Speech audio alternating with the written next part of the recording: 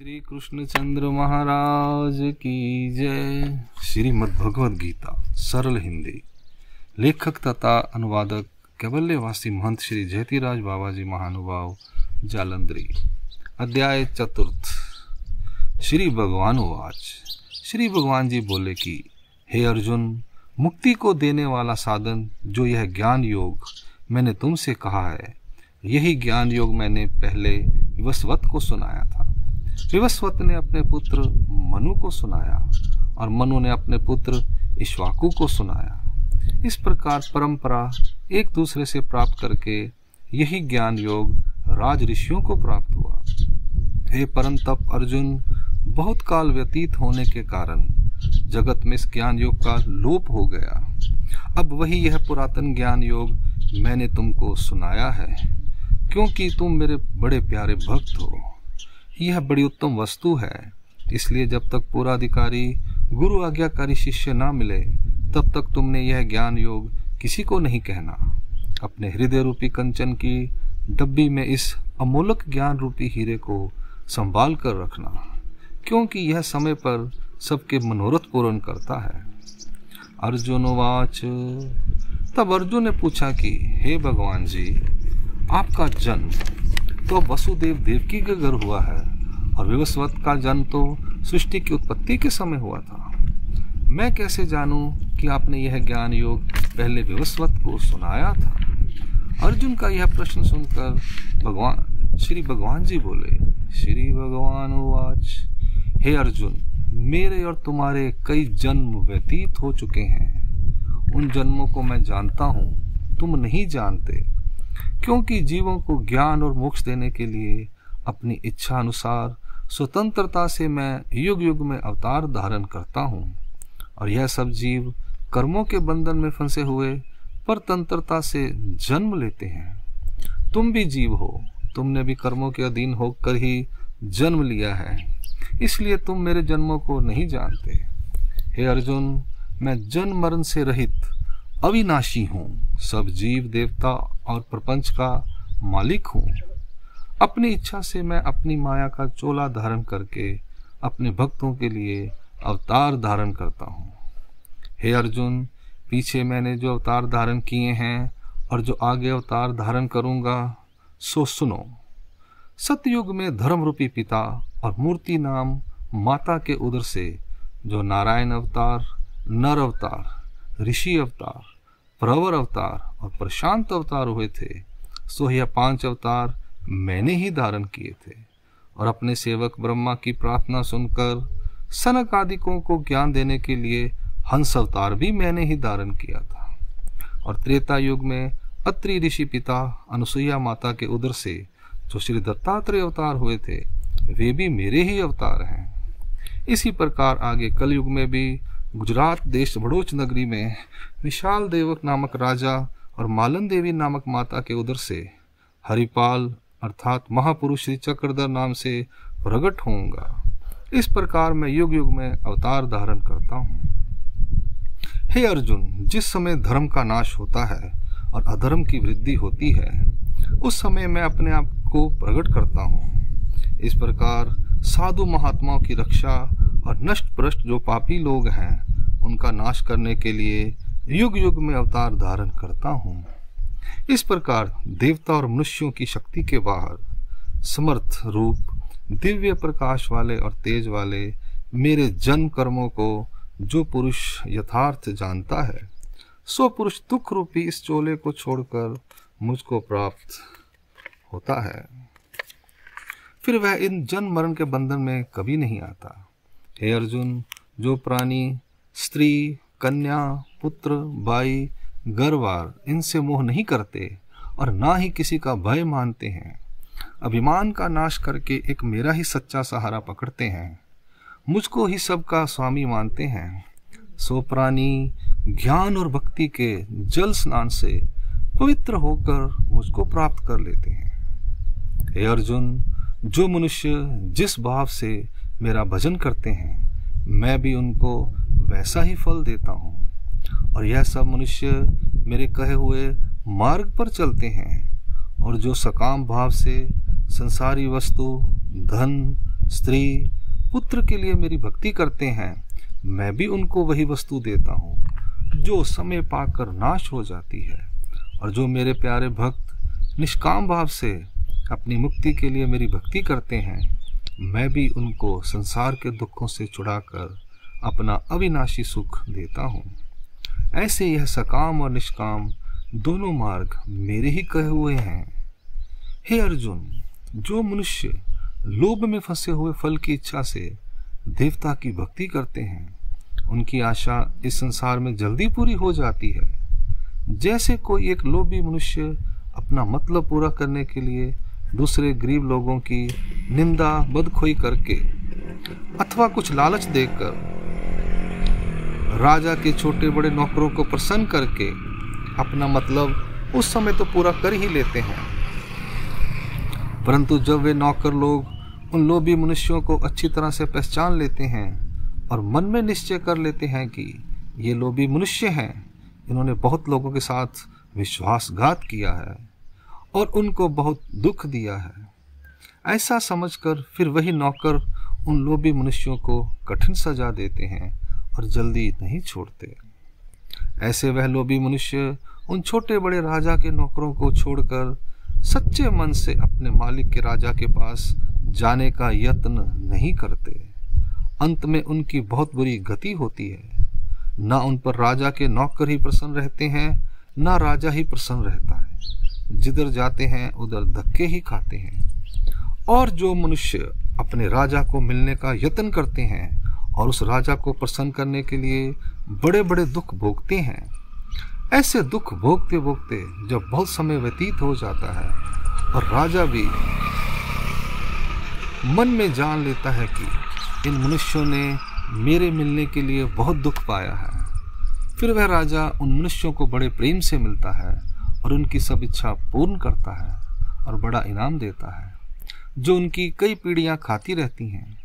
इस प्रकार राजा जब उन मनुष्यों पर प्रसन्न होता है, तब उन मनुष्यों से राजा के नौकर चाकर सब भय मानते हैं। इस प्रकार लोभ में फंसे हुए मूर्ख मनुष्य, स्वर्ग, वैकुंठ, स्त्री, पुत्र और धन की प्राप्ति के लिए कई प्रकार के त्रिगुण व्रत तप करके देवी देवताओं को और भूत प्रेतों को प्रसन्न करते हैं। फिर वे देवता प्रसन्न होकर कर्म गति के अनुसार उन मनुष्यों की इच्छा जल्दी पूरी करते हैं। परंतु जब समय पूरा हो जाता है, तब स्त्री पुत्रों को काल घेर ले जाता है, धन का नाश हो जाता है। जिन निरअपराधी जीवों की बलि देकर देवताओं को प्रसन्न किया था, वे देवता भी उनके दुश्मन होकर उन्हें स्वर्ग से यमपुरी में धक्का दे देते हैं। वहाँ बहुत समय दुख भुगत कर फिर चौरासी के फेरे में छोड़ देते हैं। हे अर्जुन, जिन्होंने निश्चय करके एक मेरा ही सहारा पकड़ा है, मेरी प्राप्ति के लिए कई जन्म मेरी भक्ति में गुजार दिए हैं। फिर मैं भी उन भक्तों पर प्रसन्न होकर इस लोक में उनकी सब इच्छा पूर्ण करता हूँ और परलोक में अपना अविनाशी सुख देता हूँ। हे अर्जुन अपने अपने गुण कर्म के अनुसार यह जो ब्राह्मण, क्षत्रिय, वैश्य, शूद्र, चार वर्ण नज़र आते हैं, यह मर्यादा इनकी प्रकृति के अनुसार मैंने ही बांधी है। हे अर्जुन, मुझको कर्मों के फलों की इच्छा नहीं है, इसलिए मुझको कर्मों के बंधन नहीं लगते। इस प्रकार जिसने ज्ञान की दृष्टि से मुझको देख लिया है, वह भी कर्मों के बंधन में नहीं फंसता। पहले समय में भी बहुत से लोगों ने ज्ञान की दृष्टि से मुझको निर्लेप जानकर, मोक्ष की इच्छा करके मेरी आज्ञा के अनुसार ही कर्म किए हैं। इसलिए तुमको भी उन श्रेष्ठ पुरुषों का ही मार्ग स्वीकार करना चाहिए। अर्थात तुमको भी मुझ ईश्वर की आज्ञा के अनुसार ही कर्म करने चाहिए। हे अर्जुन, कर्म कौन से होते हैं और अकर्म कौन से होते हैं? इन दोनों को समझना बड़ा कठिन है। बड़े बड़े पंडित भी भ्रांति में पड़ जाते हैं। अब सुनो, मैं तुमको वह कर्म समझाता हूँ। जिन कर्मों को समझकर इस दुख रूपी संसार सागर से तुम जल्दी पार हो जाओगे। हे अर्जुन, वेदों का जो त्रिगुण ज्ञान, उस ज्ञान के अनुसार चारों युगों के जो धर्म हैं, उन धर्मों को कर्म कहते हैं। और इस त्रिगुण, इस और इस त्रिगुण ज्ञान से भिन्न जो मेरा निर्गुण ज्ञान है, उस ज्ञान के अनुसार जो मेरा धर्म है, उसको विशेष कर्म कहते हैं। और जो हिंसा रूपी पाप कर्म है, उसको अकर्म कहते हैं। इन तीनों को पहले ठीक प्रकार से समझना चाहिए, पीछे कर्म करना चाहिए। फिर मैं भी उस धर्म रूपी कर्म में सहायता करता हूँ। जो पुरुष धर्म रूपी कर्मों में अधर्म देखता है और जो अधर्म रूपी अकर्मों में धर्म देखता है, वही पुरुष सारे जगत में पंडित है और वही सब कर्मों के करने वाला योगी है। हे अर्जुन धर्म रूपी कर्म में अधर्म किस प्रकार देखा जाता है, सो सुनो। जैसे कोई मनुष्य चौरास्ते पर खड़ा हुआ है और उसने देखा कि एक गाय दौड़ती दौड़ती पूर्व दिशा से आई और उत्तर दिशा की तरफ़ चली गई। पीछे से उस गाय को ढूंढता ढूंढता एक कसाई भी आ पहुँचा। तब उस पापी कसाई ने पूछा कि, हे मनुष्य, मेरी गाय किस तरफ़ गई है? सो कहो। तो वह मनुष्य अपने मन में विचारने लगा कि, सच बोलूँगा तो यह कसाई गाय को पकड़कर उसका वध करेगा और यह अधर्म मेरे माथे पड़ेगा और झूठ बोलूँगा तो गाय गाय के प्राण बच जावेंगे मुझको भी पुण्य प्राप्त होगा ऐसा विचार करके जिधर गाय गई थी, वह रास्ता ना बताकर दूसरा ही रास्ता बता दिया। फिर वह गाय कसाई के हाथ नहीं आई। हे अर्जुन, इसको धर्म रूपी कर्म में अधर्म देखना कहते हैं। और सुनो, किसी एक भले परोपकारी मनुष्य से अचानक महापाप हो गया। तब राजा के दरबारी लोग उस मनुष्य को राजा के पास पकड़कर ले गए। राजा ने उस मनुष्य को कहा कि तेरी गवाही देने वाला कोई मनुष्य है तो बुला, नहीं तो तेरे को प्राणंत का दंड दिया जाएगा। तब एक विचारवान प्राणी उस मनुष्य की गवाही देने के लिए राजा के दरबार में गया। उसने अपने मन में सोचा कि यदि मैं सच बोलूँगा तो यह बहुतों का पालन करने वाला परोपकारी मनुष्य फांसी पर चढ़ाया जाएगा और मेरे माथे अधर्म पड़ेगा। और झूठ बोलूँगा तो यह भला मनुष्य बच जाएगा और मुझको भी पुण्य प्राप्त होगा ऐसा विचार करके उसने झूठ बोलकर उस परोपकारी मनुष्य को बचा लिया। इसको भी धर्म रूपी कर्म में अधर्म देखना कहते हैं। और भी सुनो, दान करना यह सबका परम धर्म है, परंतु कुपात्र को दान देना महापाप है। इस प्रकार सब कर्म सोच समझ कर करने चाहिए। इसी को धर्म रूपी कर्म में अधर्म देखना कहते हैं। हे प्यारे, कुपात्र किसको कहते हैं, सो सुनो। जो मेरी भक्ति से रहित और अपने आप को ब्राह्मण कहने वाला, मदिरा पीने वाला, मांसाहार, जुआ खेलने वाला, विश्वासघात करने वाला, पर स्त्री घमन करने वाला, नास्तिक, इस प्रकार बुरे कर्म करने वाला, कितना भी भारी पंडित अथवा सन्यासी क्यों ना होवे उसको कुपात्र समझना चाहिए। ऐसे कुपात्र को जो पुरुष दान करता है, उसको लोक परलोक में महादुख होते हैं। अब अधर्म रूपी अकर्म में धर्म किस प्रकार देखा जाता है, सो सुनो। किसी की निंदा बदखोई करनी यह अधर्म है, परंतु ठग मनुष्य का हाल सुनाकर उस ठग के हाथ से किसी भोले भाले धर्मात्मा मनुष्य का बचाव करना यह धर्म है। इसको अधर्म रूपी अकर्म में धर्म देखना कहते हैं। और सुनो, सन्यासी को एक स्थान पर निवास करना यह अधर्म है, परंतु उसके निवास करने से उसका सत्संग करके यदि कोई एक पापी प्राणी धर्मात्मा बन जावे तो यह धर्म है। इसको भी अधर्म रूपी अकर्म में धर्म देखना कहते हैं। और भी सुनो, किसी को दुख देना यह महा अधर्म है। परंतु किसी पापी को दुख देने से यदि किसी धर्मात्मा प्राणी को सुख मिले तो यह धर्म है। परंतु उस पापी को जान से नहीं मारना चाहिए, क्योंकि जान से मारने से हिंसा करने का फल भोगना पड़ेगा। इस प्रकार सब कर्म सोच समझ कर करने चाहिए। इसी को अधर्म रूपी अकर्म में धर्म देखना कहते हैं। हे अर्जुन, जो पुरुष फल की इच्छा को त्याग कर निर्गुण ज्ञान के अनुसार कर्म करता है और वह कर्म मेरे अर्पण करके ज्ञान रूपी अग्नि में जला देता है, वही पुरुष ज्ञानी है और परमंश कहता है, हे प्यारे, जिस पुरुष ने मेरा ही आसरा पकड़ा है, मेरी भक्ति में ही प्रसन्न है, कर्म फल की इच्छा तक नहीं करता, सो पुरुष कर्म करता हुआ भी निर्लेप रहता है। उसको कर्मों के बंधन नहीं लगते। जिसने वासना का नाश करके मन और बुद्धि का को काबू में कर लिया है, संसारी भोगों को विष के समान जानकर, उन भोगों का त्याग कर दिया है, वह पुरुष केवल शरीर मात्र से कर्म करने वाला जानो, उसको कोई बंधन नहीं लगता। ऐसा वह पवित्र महात पवित्र महात्मा बिना मांगे भोजन, आच्छादन, जो वस्तु प्राप्त हो जाए, उसी में प्रसन्न रहता है और सर्दी, गर्मी से ना घबरा कर सुख दुख को समान मानता है। किसी के साथ प्रीति नहीं करता, किसी के साथ दुश्मनी नहीं करता। यश अपयश को एक समान समझता है। ऐसा जो पवित्र पुरुष सो कर्मों के बंधन में नहीं फंसता। हे अर्जुन, जिसकी कामना का नाश हो गया है जिसका नो, ना कोई शत्रु है, ना मित्र है। मेरी प्राप्ति के लिए जिसको ज्ञान की पौड़ी प्राप्त हो गई है, नैतिक नैमितिक यह सब कर्म मेरे अर्पण करता है। उस ज्ञानी पुरुष के सब बंधन नष्ट हो जाते हैं। हे अर्जुन, मुझको प्रसन्न करने के लिए ये मनुष्य बहुत प्रकार से मेरी भक्ति करते हैं। सो सुनो, मुझ सर्वव्यापक को अग्नि की न्यायी प्रकाशमान जानकर मेरे नाम रूपी मंत्र का जप करते हैं। मेरे निमित्त चंदन धूप आदि सुगंधित वस्तु दिखाते हैं। घृत कपूर जलाकर मेरे निमित्त आरती करते हैं।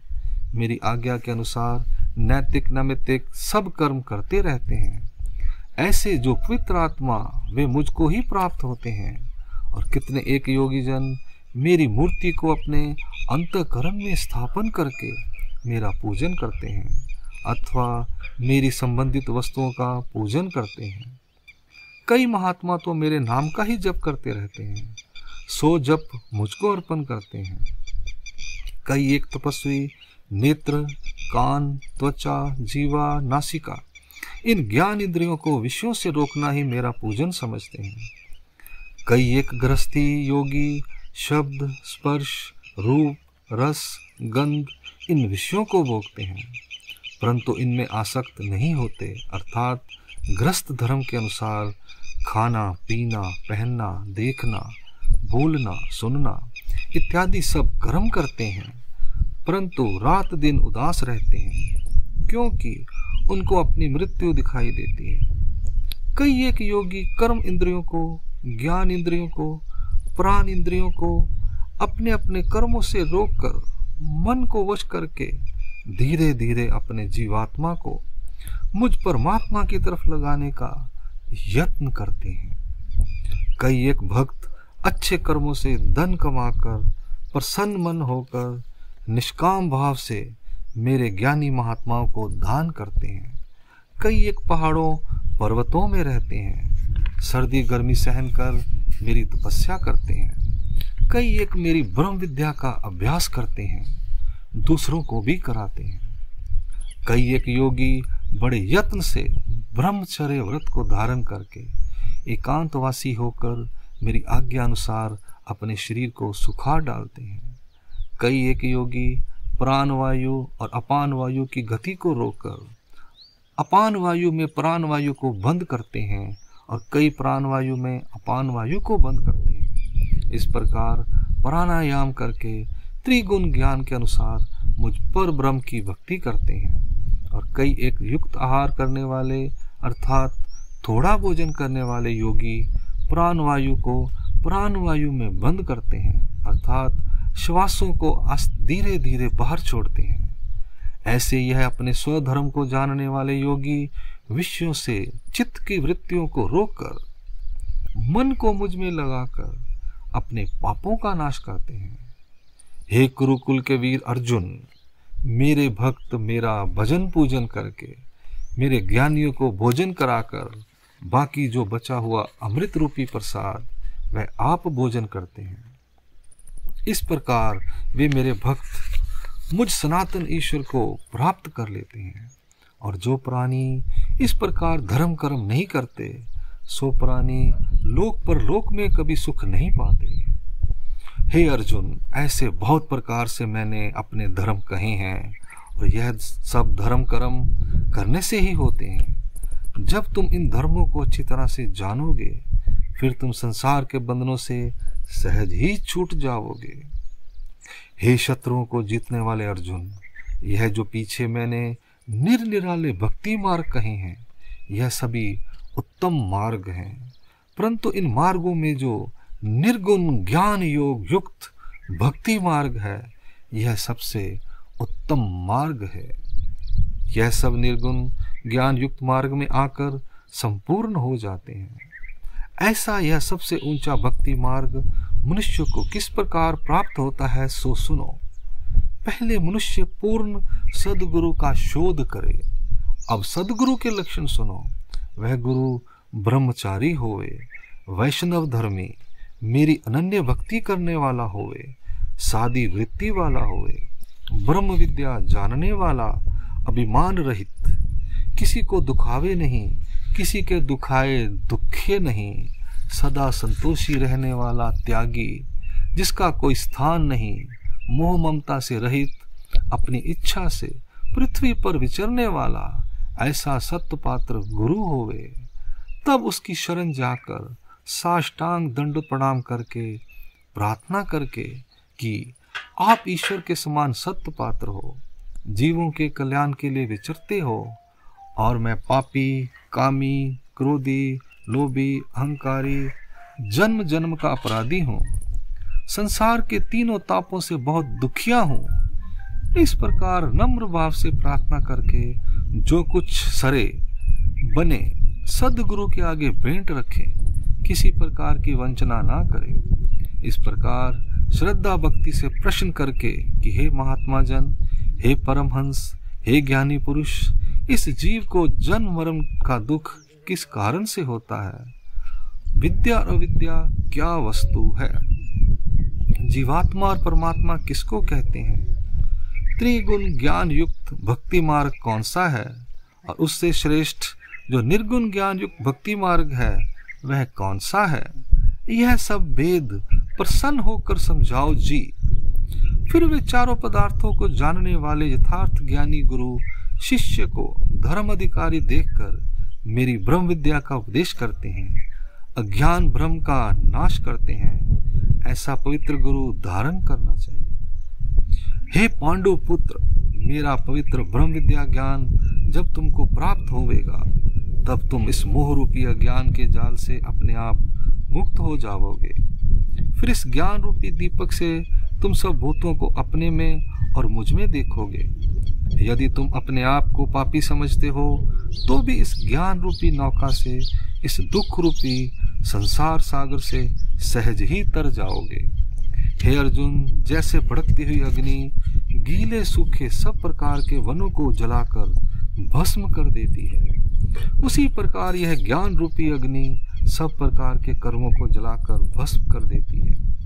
इसलिए मुक्ति के मार्ग में इस ज्ञान के बराबर और कोई पवित्र वस्तु नहीं है। ऐसे जानकर जो पुरुष मेरे निमित्त कर्म करता है, मेरी भक्ति करता है, उस पुरुष को मेरा निर्गुण ज्ञान प्राप्त होता है। हे प्यारे, जिसकी गुरु में श्रद्धा है, मुझमें प्रीति है मेरे ज्ञान की चाहना करके प्रेम से पढ़ता सुनता रहता है, ऐसे इंद्रियों को वश करने वाला जो पुरुष सो निश्चय करके ज्ञान को प्राप्त कर लेता है। फिर इस ज्ञान के सहारे से तत्काल ही परम शांति जो मेरा परम आनंद स्वरूप है, उसको प्राप्त करता है।